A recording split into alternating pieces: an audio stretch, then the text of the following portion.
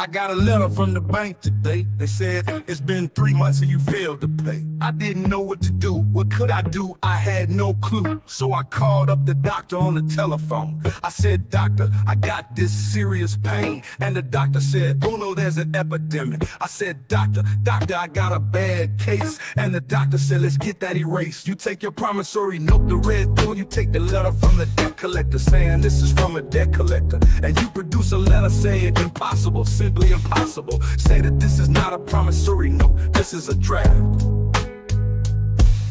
Say that this is not a promissory note, this is a negotiable instrument. I never agreed to pay on a negotiable instrument. That instrument contains conditions, transferabilities, and assignments, and I authorized and negotiated those conditions. They will say you're crazy, and we go into court. You say if we go to court, I will tell the judge, have no jurisdiction in this venue. You cannot use the speedy foreclosure process to foreclose on a negotiable instrument, a draft There is no provision in law. So I do hereby challenge the jurisdiction of the opposing party. And I challenge, as is my right, the jurisdiction of this court because who's ever heard of foreclosing on a draft? Who's ever heard of foreclosing on a negotiable instrument? Foreclose on a draft. You can't foreclose a negotiable instrument. Stop letting them call a promissory note and sending you letters talking about a promise to pay. You send them back a letter saying, I don't think so. No way, I got nothing to say, nothing to pay. I don't think so, no way. I got nothing to say, nothing to pay. I don't think so, no way.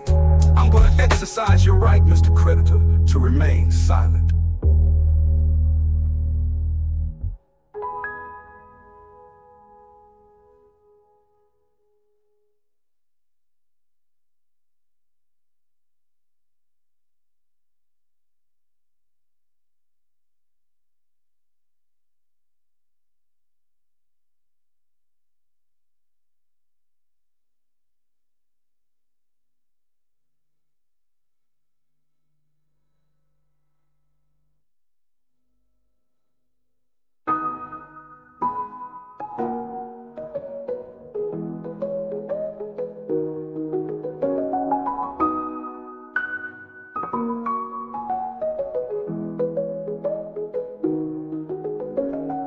Stop letting them call it a promissory note.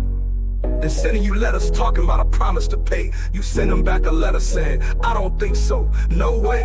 I got nothing to say, nothing to pay. I don't think so, no way. I got nothing to say, nothing to pay. I don't think so, no way. I'm gonna exercise your right, Mr. Creditor, to remain silent.